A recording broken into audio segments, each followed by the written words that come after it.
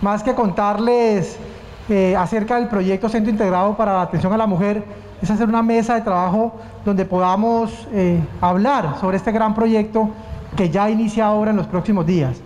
Esa socialización, más que un requisito para iniciar, es una necesidad de contarle a la comunidad qué vamos a hacer acá, por qué se va a hacer este proyecto y cómo se concibe y cómo se ha concebido en este último año. El Centro Integrado de la Mujer es uno de esos cinco proyectos estratégicos que en la Secretaría de Infraestructura se han liderado desde el diseño hasta ahora su inicio de ejecución. Obras que se lideraron en el despacho del alcalde Juan Felipe Harman. Ahí mismo se tomaban las decisiones, se articulaban los sectores, qué apoyaba planeación, qué apoyaba gobierno, en este caso en particular la Secretaría de, de la Mujer, para poder entender que los proyectos tenían que concebirse a todo nivel. Hoy este proyecto que ya cuenta con recursos, ya tiene diseños que se llevaron a cabo al interior de la Secretaría de Infraestructura con nuestros profesionales, arquitectos, ingenieros civiles, estructurales. Ya tiene hoy un contratista, el, consorcio Casa de la Mujer, representado legalmente por el ingeniero Luis Cruz, que ahorita nos va a presentar qué se va a construir, ya tiene una interventoría liderada acá por el ingeniero Daniel Quevedo, nos van a hablar de qué es lo que se va a construir, qué se va a hacer. Yo solo quería contarles que este proyecto lleva un año diseñándose, planeándose, pensándose, atendiendo lo que las mujeres a través de la Secretaría de la Mujer manifestaban para que aquí estuvieran representadas, identificadas y que todo el manejo de la ruta, ese problema que, que se vive día a día en nuestra sociedad, estuviera clara y establecida acá como una garantía. Entendía yo, hablaba con Ana María hace unos minutos y le hemos venido hablando de que este centro integrado no existe en otra ciudad del país es único en Colombia, es primero, quizá otras ciudades han intentado armar espacios, organizar espacios para atender el problema, pero Villavicencio lo hizo un propósito, lo concibió y hoy vamos a tener un espacio de más de 1.500 metros cuadrados de construcción exclusivos para atender esta problemática. Hoy eh, lo que les puedo contar es que siente uno esa emoción de, ver la primera ya eh, palada de tierra sacada, ingeniero, para poder arrancar una obra que la hemos trabajado alcalde al detalle, al milímetro, se ha hecho con todo el cariño esta obra. No se le entregó un contratista para que la diseñara, no, la hicimos al interior de la alcaldía porque queríamos cuidar cada detalle y cada eh, proceso que entendíamos era necesario. Quiero agradecerles a todos la presencia. Eh, hoy vamos a presentarles entonces a través de la, de la, eh, del consorcio Casa de la Mujer lo que se va a construir acá para que ustedes puedan al final hacer alguna pregunta, podemos buscar un canal para ampliarla si es necesario o poder intercambiar información precisa a través de cualquier correo electrónico o dato que nos dejen al final de la reunión. Muchas gracias.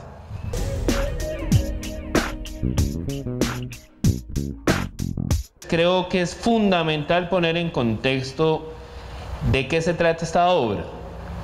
Pero antes lo que representa.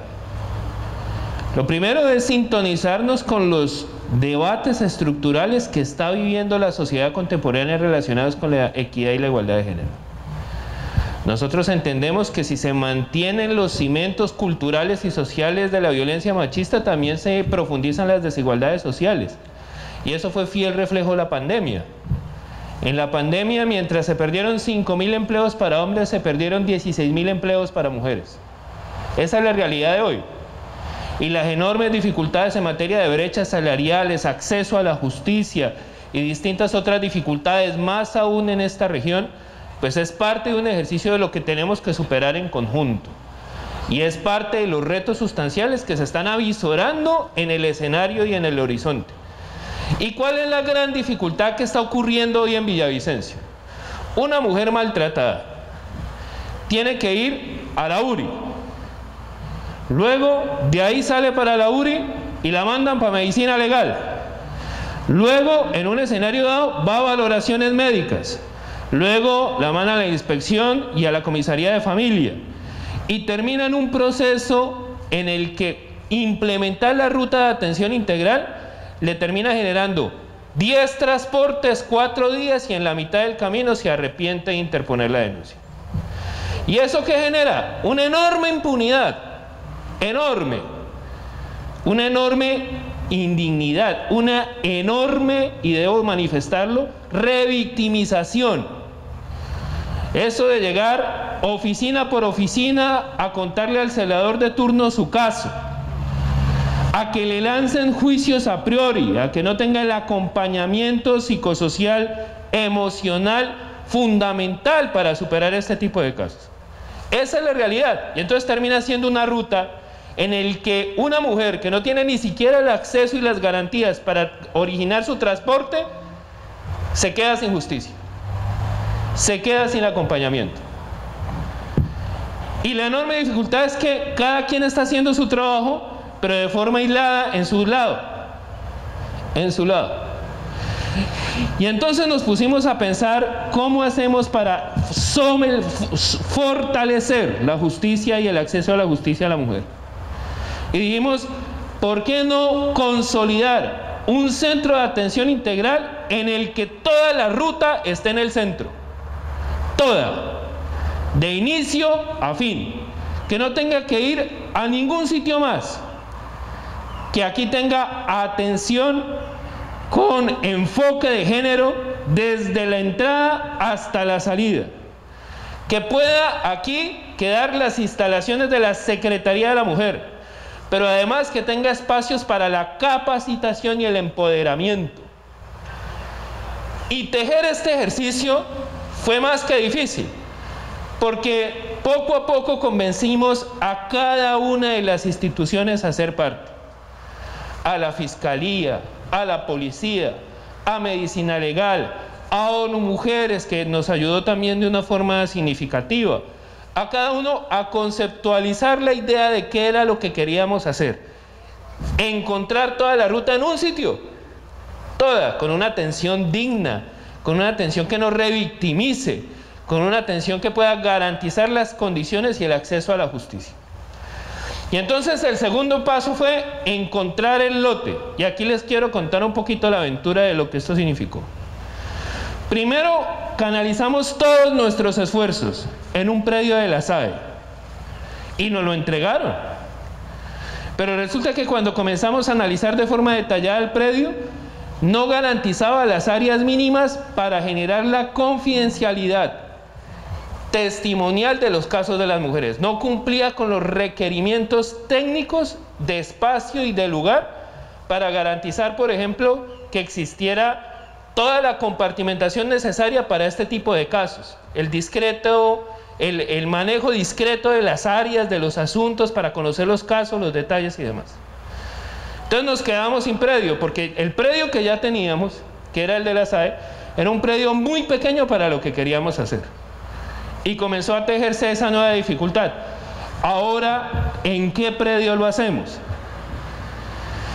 Y aquí también quiero darle el mérito a Javier, asesor de despacho, que estuvo mucho tiempo ingeniando la posibilidad de este proyecto y ahorita ustedes lo van a ver y este proyecto es de las cosas en las que me siento absolutamente orgulloso de poder jalonarlo y de ser alcalde de Villavicencio. Días como hoy que arranca la construcción de este proyecto nos da placer decir que va a ser un espacio importante para la justicia.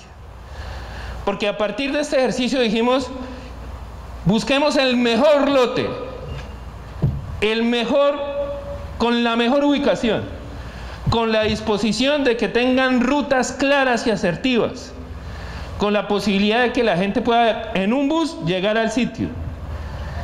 Y buscamos dentro de los predios del municipio y encontramos esta sesión de equipamiento. Esta en donde ustedes están en este momento hoy, en este espacio, en un lote que fácilmente puede ser estrato 4, con todas las condiciones, con todos los detenimientos, con la interconexión de servicios públicos, con las garantías, con las posibilidades propias de desarrollar una obra como ustedes se la merecen. Y entonces comenzamos a diseñarlo.